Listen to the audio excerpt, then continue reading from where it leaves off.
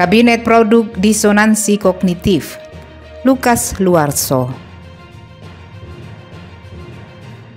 Kabinet pemerintahan Prabowo sudah dilantik.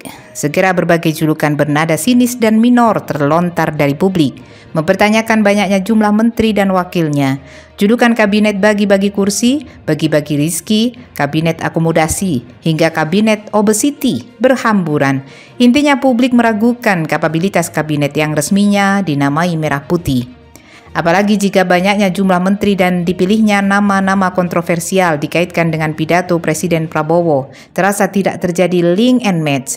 Pidato Presiden mengesankan ingin menjalankan pemerintahan yang baik, ingin memberantas korupsi, ingin mengutamakan kepentingan rakyat, berniat mengurangi kebocoran anggaran dan penyimpangan, termasuk mempersoalkan praktek kolusi pejabat dengan pengusaha nakal. Pidato pertama Prabowo selaku presiden terdengar meyakinkan sebagai omon-omon. Apakah ia akan walk the talk, serius menjalankan ucapannya? Masih harus dibuktikan beberapa bulan ke depan. Namun yang sudah terbukti, pembentukan kabinet menunjukkan adanya gejala disonansi kognitif, ketidakselarasan pikiran Prabowo.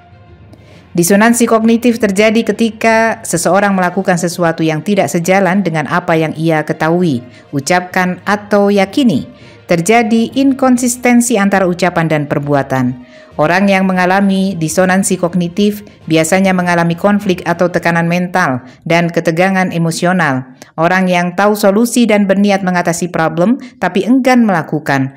Orang gemuk yang bertekad ingin langsing namun enggan olahraga dan terus melahap makanan cepat saji adalah contoh penderita disonansi kognitif.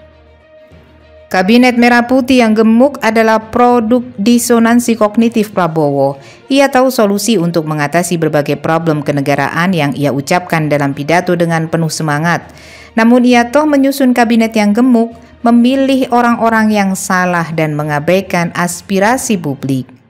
Prabowo mestinya tahu mustahil kabinetnya bisa bekerja secara efektif dan efisien dengan jumlah menteri, wakil menteri, dan ketua badan setingkat menteri yang mencapai 109 orang kabinetnya terlalu gembrot untuk mampu berkinerja secara tangkas, ringkas, gesit, dan elastis.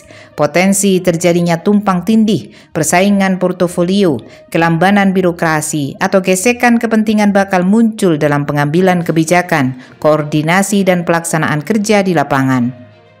Jumlah kementerian yang banyak jelas membutuhkan birokrasi, staf, dan anggaran operasional yang besar, termasuk semakin memacetkan Jakarta karena semakin sering iring-iringan Forisder untuk membuka jalan para menteri yang ingin keluyuran.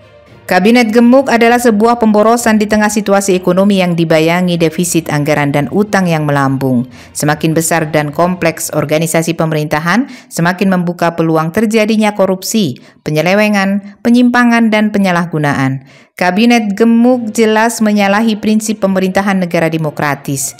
Tidak selaras dengan adagium that government is best which govern the least. Pemerintahan terbaik adalah yang paling sedikit memerintah. Ungkapan ini menegaskan karakteristik sistem demokrasi yang menempatkan fungsi pemerintah sekadar menjalankan hal-hal yang tidak dapat dilakukan warga. Negara yang banyak aturan dan terobsesi mengatur banyak hal adalah kecenderungan negara otoriter.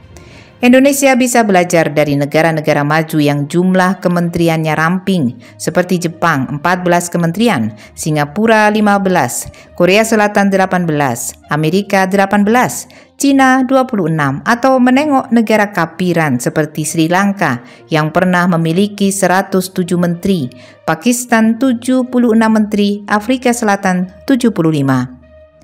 Struktur kabinet gembrot jelas bukan dimaksudkan untuk kepentingan rakyat, melainkan hanya untuk mengakomodasi kepentingan politik, untuk mengamankan dan menyamankan posisi agar praktek pat kulipat dan mufakat gelap tidak terganggu, khususnya dalam kultur pemerintahan dan politik yang masih kental dengan praktek KKN dan kecenderungan politikusnya memperkaya diri, hal yang diketahui Prabowo dan ia suarakan dalam pidato pelantikannya. Power tend to korup, semakin besar struktur pemerintahan, semakin besar korupsinya. Kabinet yang gembrot hanya akan menumbuhkan budaya, sesufansi, dan praktek politiking yang kontraproduktif. Dalam dunia bisnis, dikenal ungkapan, loyalitas buta akan menjadi norma dan etos kerja. Kabinet Produk Disonansi Kognitif Prabowo jelas bakal memperkuat sistem oligarki yang 10 tahun di era Jokowi semakin berkembang berurat berakar dan berlipat ganda kekuatannya. Yang menyolok terpilihnya orang yang jelas-jelas berperan sebagai liaison officer para oligarki di era Jokowi diangkat jadi menteri. Belum lagi sejumlah menko yang disinyalir korban politik sprindik tersandra korupsi di era Jokowi masih dipakai, termasuk sejumlah nama yang dikenal sebagai public enemy karena kegemaran memancing kontroversi dan sikap inkonsistensi. Melihat struktur gemuk, susunan dan nama-nama yang masuk kabinet produk disonansi kognitif ini, rasanya cuma keajaiban yang bisa membuatnya mampu berkinerja atau kita boleh berharap ketika gangguan disonansi kognitif yang menimpa kepala pemerintahan segera sembuh. Kita perlu suasana kebersamaan. Kita perlu suasana persatuan. Kita perlu kolaborasi kerjasama, bukan cekcok yang berkepanjangan.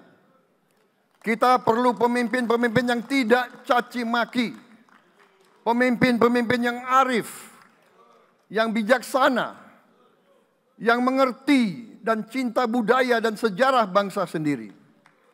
Yang bangga dengan adab, tradisi, dan adat bangsa kita sendiri. Kita menghendaki kehidupan demokrasi, tapi marilah kita sadar bahwa demokrasi kita harus demokrasi yang khas untuk Indonesia.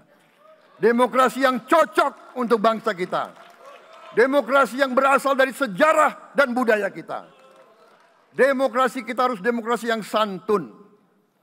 Demokrasi di mana berbeda pendapat harus tanpa permusuhan. Demokrasi tan di mana mengoreksi harus tanpa caci maki. Bertarung tanpa membenci. Bertanding tanpa berbuat curang.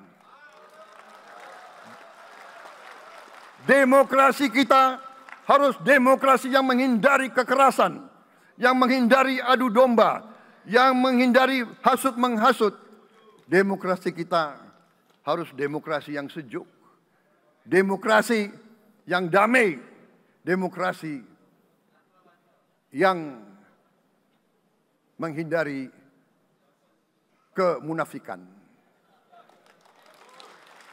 Hanya dengan persatuan dan kerjasama kita akan mencapai cita-cita para leluhur bangsa kita.